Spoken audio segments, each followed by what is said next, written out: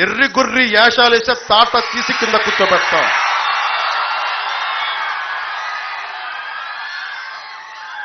అలాగే నా మీద సామాజిక మాధ్యమాల్లో కానీ వైసీపీకి అనుకూలందరూ రెచ్చిపోయి పిచ్చి పిచ్చి వాగుళ్ళు వాగితే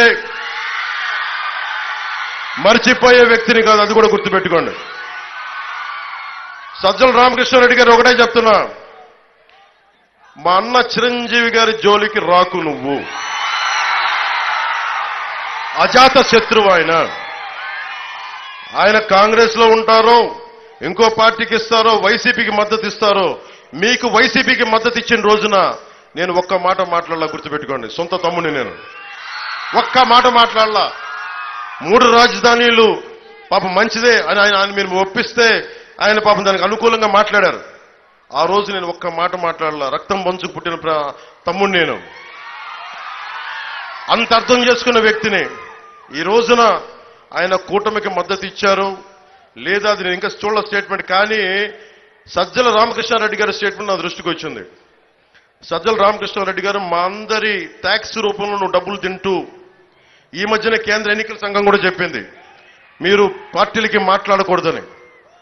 అందుకని చెప్తా ఉన్నా చిరంజీవి గారి జోలికి కానీ రాష్ట్ర ప్రజల జోలికి కానీ బడుగు బలహీన వర్గాల జోలికి కానీ శట్టి బలిజల బీసీల ఆత్మగౌరవానికి కానీ కాపు సమాజం మీద కానీ దయచేసి పైకి మీరు ఒళ్ళు దగ్గర పెట్టుకొని మాట్లాడాలి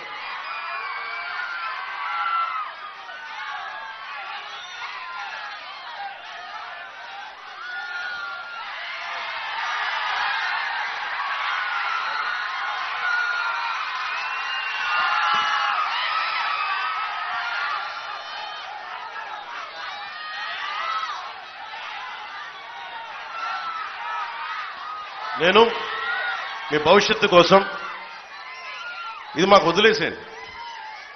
నేను ఒక ఇంపాసిబుల్ టాస్క్ని అలయన్స్ని పట్టుకొచ్చాను నేను. కన్విన్స్ చేశాను. నేను తగ్గాను. నేను తగ్గి మిమ్మల్ని గెలిపించడానికి ఇంత బలం ఉండి నాకు. నలభై ఐదు నుంచి యాభై నియోజకవర్గాల్లో బలమైన ప్రథమ ప్రత్యర్థిగా ఉండి పోటీ చేయగలిగే స్థాయిలో ఉండి కూడా నేను తగ్గి మీ భవిష్యత్తు కోసం నిలబడి ఉన్నాను ఇక్కడ. జనసేన ఇరవై ఒక్క శాసనసభ్యులు శా- మనకి అసెంబ్లీ సభ్యులు ఇరవై ఒకటి కాదు అది. నూట డెబ్బై ఐదు గుర్తుపెట్టుకోండి. అలాగే టీడీపీ కూడా భారతీయ జనతా పార్టీ మేము ఎన్ని స్థానాల్లో పోటీ చేస్తున్నాం అన్ని నూట ఐదు స్థానాల్లో జనసేన టీడీపీ భారతీయ జనతా పార్టీ ముగ్గురు సమానంగా ఉన్నాం.